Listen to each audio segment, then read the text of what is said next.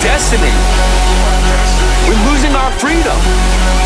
And this isn't something that's going on far away. It's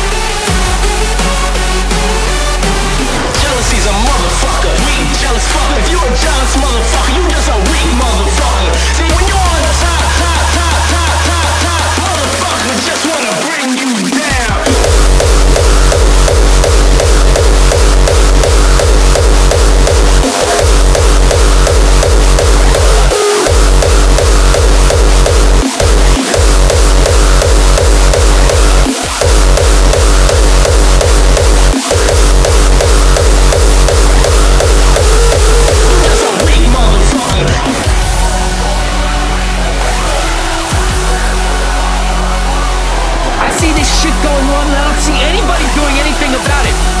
And it fucking pisses me off.